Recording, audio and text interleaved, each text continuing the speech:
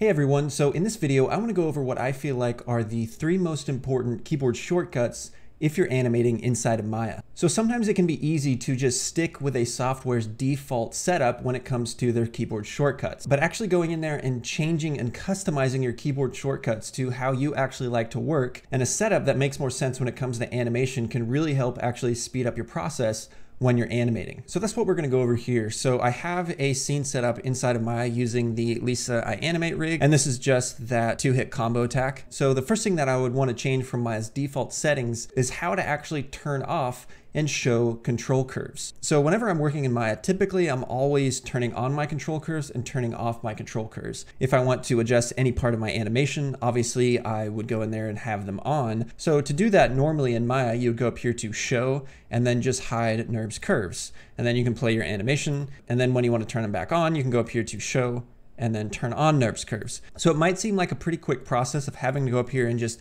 toggle this on and off. But if you put this option on a keyboard shortcut, it actually saves you a whole lot of time because you're always turning off your control curves and turning them back on. So to change this, I'm gonna go up here to Windows, Settings Preferences, and open up the hotkey editor. And once we have this open, what we're gonna do is go over here to Custom Scripts, and I'm just gonna go over here to the Runtime Command Editor, and I'm just gonna hit New. So for this name, I'll just name it something like Control Curves show hide, just something like that, just so I know what this actually does.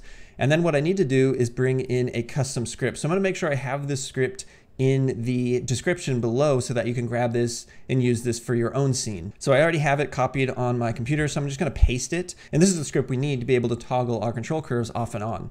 So I'll go ahead and do save runtime command, says it's been saved. And then on the hotkey, what I'm gonna do is just put this on C. This is typically where I have this hotkey set up. You can see that it gives us a warning letting us know that this is already assigned to the curve snap tool. If you don't want to change the hotkey for this, you can always pick a different hotkey or even do like a combo. Maybe it's Alt and C to turn off and on your control curves. I don't really need that other tool when I'm animating, so it's fine for me just to have it on C. So what I'll do is just hit save and close, and then we can test this out. So now every time we hit the C key, we're toggling the visibility of our control curves. And as you're working in here and you're going in here, you're adjusting a control curve really quickly, then you wanna see your animation, you can very quickly toggle those control curves on and you're actually saving a whole lot of time than you would if you had to go over here to the show drop down every time you want to toggle those control curves on. So the next really important keyboard shortcut that I wanna go over is how you actually frame by frame your timeline and then jump between the main key poses. So by default in Maya, if you hold Alt and press the period key, you're going to jump forward one frame. So you can basically just frame by frame your animation. And then if you hold Alt and press the comma key, you're going backwards. So you're frame by framing your animation in the opposite direction. So you can scrub between your animation very quickly using those hotkeys. The other option you have is just to let go of Alt and press the period key to jump between the key poses on your timeline. So you can see every time we press that, we're jumping between the key poses of our animation. And then the comma key just jumps backwards. So this hotkey setup in Maya by default is okay, but typically when you're animating, you actually have your hand on the left side of your keyboard most often. So if you're wanting to jump between manipulators, so going to the move, rotate, and scale tool, that's all on the left side of your keyboard. And then if you want to frame by frame your animation, you have to jump to the other side of your keyboard. So just minimizing the amount of movement you're having to do across a keyboard is really helpful. So what we're going to do is change these hotkeys. So we'll go up here to Windows, Settings Preferences. We'll go into the hotkey editor again. And really the fastest way to find these hotkeys is just go over here to search by, choose hotkey. And for this, we're gonna just press the period key and that's going to show those hotkeys associated with that key. So you can see we have it under playback we have next key is set to period, and then the next frame is set to alt period. So what we're gonna do is just go to next frame, and I'm gonna actually put this on the number two. I like to have it at the number two because my hand is already on that side of the keyboard, and it's very easy for me to press that button without having to move my hand really at all. So I'll put that on the number two to basically just jump to the next keyframe. And then for the next frame, I'm gonna change that to alt two.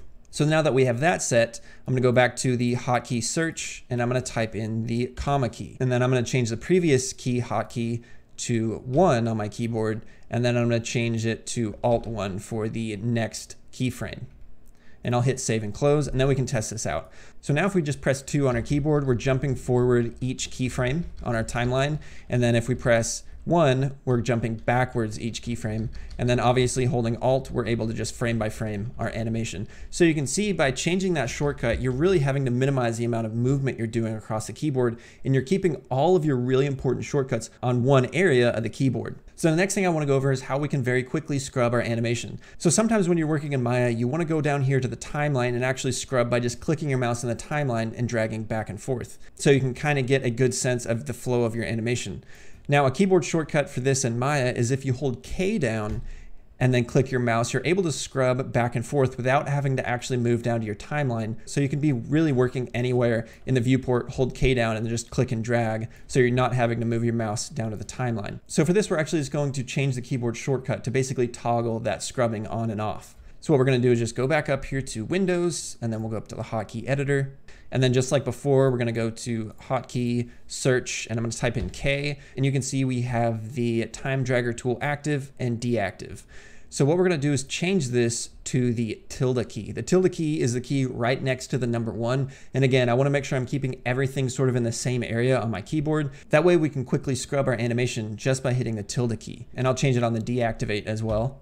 And then we'll hit save and close. Now if we hold down the tilde key, click in the viewport, we're able to just drag back and forth in our animation. And this drag option is really helpful to being able to really see the flow of your animation. If you're just pressing Alt and one and two, you're able to frame by frame your animation, but you kind of have to do it pretty slowly. This way you can get a bit better of a sense of the movement through your animation. Obviously, the faster you move the mouse, the faster it's going to scrub through your animation. So hopefully this video was helpful for you in seeing really the benefits of making sure you're changing the keyboard shortcuts to a way that actually works better for animation. So you're not having to move your hand all over the keyboard. You can keep everything sort of contained in one area. So thanks for watching and don't forget to like and subscribe or leave a comment in this video if you have any questions or maybe you have a suggestion for a future tutorial.